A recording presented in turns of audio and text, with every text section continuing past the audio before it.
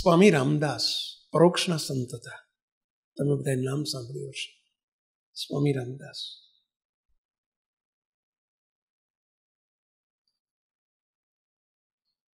એક દિવસ પોતાના શિષ્યોને લઈને દસ પંદર યુવાનોને લઈ અને જર્ની કરી રહ્યા છે.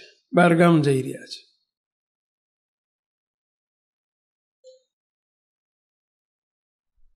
રસ્તો લાંબો હતો. રસ્તામાં એમના શિષ્યોને બપોરનો સમય થયેલો ને ભૂખ લાગેલી, બરાબર નહીં. હવે ગુરુને કે કોઈ કહી ના શકે ગુરુજી ભૂખ લાગી છે, બધા બીવે. અને એમાં એક સરસ મજાનો ટાઢો, છાંયો, સરસ મજાનું એક ઘટાદાર વૃક્ષ આવ્યું. ગુરુજીની ઉંમર હતી, સ્વામી રામદાસની ઉંમર હતી એટલે ગુરુએ કહ્યું કે, ભાઈઓ, થોડી વાર અહીં આપણે આરામ કરીશું, વિશ્રામ કરીશું. થોડી વાર થાક ખાઈશું. અમે તો થાકી ગયા, થોડી વાર બેસીશું. બધાને તો જોતું જ તું. ગુરુજી, તો સારું અમારે વિશ્રામની જરૂર છે. ગુરુજી ત્યાં સરસ ટાઢો છાંયો હતો અને અટેકણે બેઠા.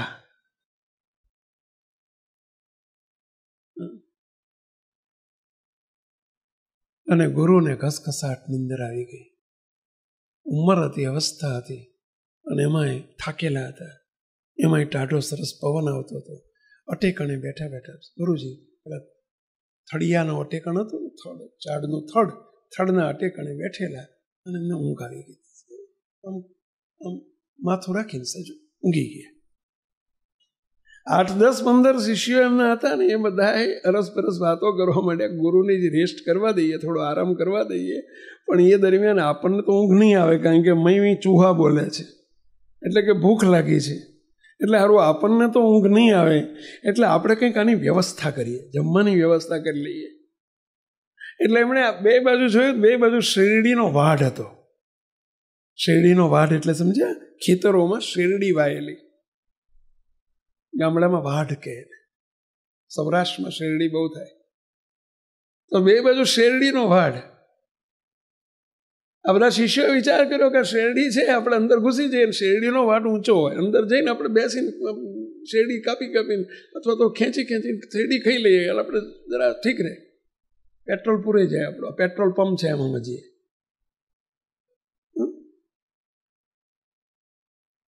એટલે બધા શિષ્યો અંદર ગુરુ જાગે ત્યાં સુધી આપણે આપણું કામ પતાવી દઈએ. અંદર ઘૂસી ગયા શેરડીના વાડમાં. બેસીને એમણે તો અંદર છાનું વાનું અંદર બેસીને બધી શેરડી કોઈ આ બાજુ કોઈ આ બાજુ બે બાજુ જઈને બધા શેરડી માંડી જમવા. માંડી છોલી છોલીને જમવા. ન ગુરુ સાંભળ્યા, ન ગુરુનો ઉપદેશ સાંભળ્યો. આપણે જમી લઈએ છીએ, ગુરુ ભૂખ્યા છે, ન સાંભળ્યા. આવા સમયે ખબર પડે છે કે ગુરુ સાથે કેવી આત્મબુદ્ધિ છે ને કેવો પ્રેમ છે. ન ગુરુનો ઉપદેશ સાંભળ્યો. સહેજ અવાજ થયો ને ત્યાં પેલો જે ખેડૂત હતો, જે માલિક હતો, એને કંઈક ખબર પડી કે સારું અંદર કોઈ ઘૂસ્યા લાગે છે. એટલે એણે દૂરથી બૂમ પાડી. એટલે કોણ અંદર મોવા છો? એમ કહીને બૂમ પાડીને પેલો આ બાજુ આવતો થયો બધા ભાગીને એકદમ બહાર નીકળીને બધા આમ આગળ આવીને ગુરુની આગળ આવીને ધ્યાનમાં બેસી ગયા. દંભ અને પાખંડ કરવા. જાણે મોટા ભગત હોય ને એમાં. ગુરુની આગળ આવીને ધ્યાન કરવા બેસી ગયા. પેલો જે માલિક હતો એ જોઈ ગયેલો કે બધા દોડીને મા બેટા આવીને ભગત થઈને બેસી ગયા છે. એટલે પેલા ખેડૂતને દાંત ચડી કે સાલા, એક તો તમે ચોરી કરી છે ને પાછા તમે મોટા ભગત થઈને બેસી ગયા અહીંયા. અને આંખીઓ બંધ કરીને ધ્યાન કરવા બેસી ગયા. ભગત ના ભણ્યા હોય એટલે બોલે આવીને ગુરુને, શિષ્યોને નહીં, જે ગુરુ સામે અટેકણે બેઠા છે ને એમને એક ખાઈને તમાચો મારી દીધો. અહીંયા એક લાફો મારી દીધો, તમાચો મારી દીધો. અને અવાજ થયો ને એટલે પેલા બધા આંખો ખોલી. ઊભા થઈ ગયા.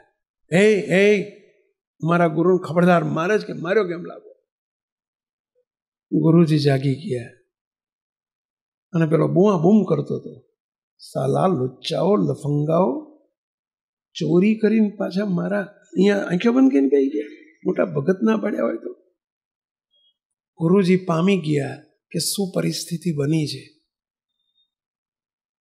ગુરુએ કહ્યું, ભાઈ, એક ગાલ ઉપર લાફો માર્યો છે, બીજા ગાલ ઉપર પણ એક તમાચો મારી દે મને. હું એને જ લાયક છું. શિષ્યો કે, ગુરુજી, ભૂલ તમારી નથી, ભૂલ અમારી છે ને તમને લાફો કેમ મારી શકે? ગુરુજી કે, ભૂલ તમારી નથી, ભૂલ મારી છે. મેં મારા શિષ્યોને આવા પાઠ નથી ભણાયા. મેં કાચા રાખ્યા છે. ને મારા શિષ્યોને ઉપદેશ તો આપ્યો છે, પણ ઉપદેશ એના જીવનમાં ભણ્યો નથી. કે મારા શિષ્યને સમયે ખબર પડે કે આ ચોરી કહેવાય, આવું ખોટું કૃત્ય અમારાથી ન થાય, પૂછ્યા વગર કોઈના ખેતરમાં ન પેસી જવાય. એવા પાઠ મેં ભણાયા છે, પણ તમારા જીવનમાં રગે રગમાં પ્રસરાયા નથી. એટલે મારે લાફો ખાવો પડે, એમાં કંઈ ખોટું નથી થયું. હું એને જ લાયક છું. ભૂલ મારી છે.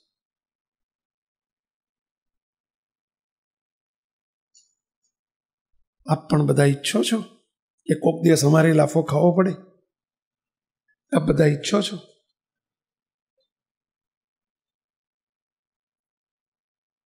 ધ્યાન રાખજો. ધ્યાન રાખજો.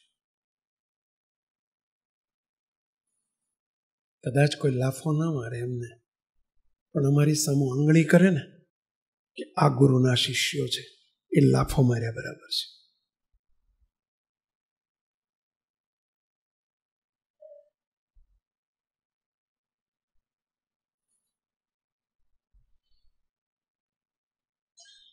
જરા સાવધાન રહેજો. અમને કોઈ લાફો મારે? અમારું અપમાન કરે અને કોઈ અમારી સામે આંગળી કરે, એમાં કોઈ ફેર નથી.